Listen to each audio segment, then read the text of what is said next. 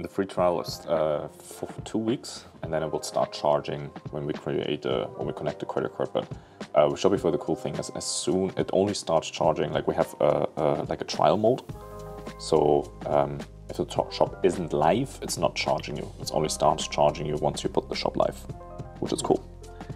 Um, okay, then we can answer a few questions here.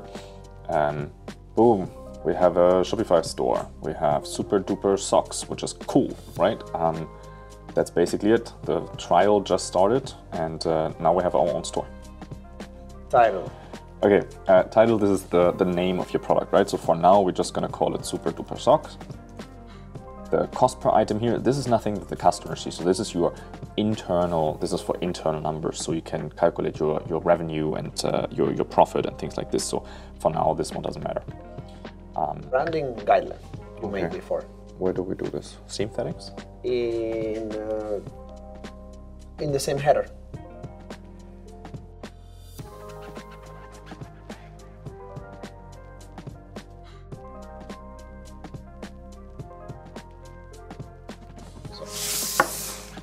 Oh, this is so cute! So here are pictures. We have some more, which is like a collage here. He still need to cut a little bit, but this is he smoothed out everything. So this nice. is this is the set. We took so much to position. Oh everything. yeah, I love that uh, pink and band.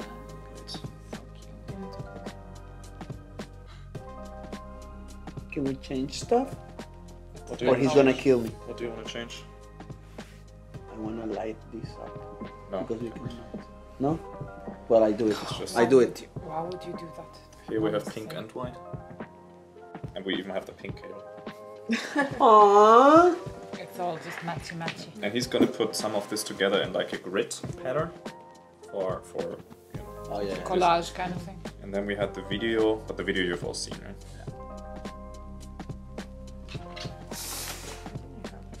Nice. Yeah, and then we just need to have the text for the videos.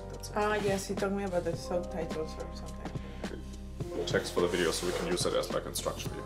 The point is that people return it because they don't know how to fuck, how fuck to use it. So if we have something that we should make a blog.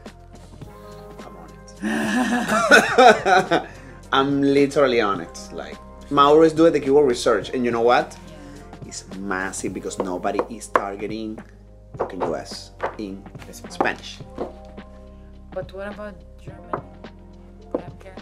Oh, uh, we're gonna we're gonna just copy the the same one source of articles. We translate. If we start like now hardcore on SEO in six months, we can rank. I saw I saw Ahref from Mauro. Virgin Island. Is it?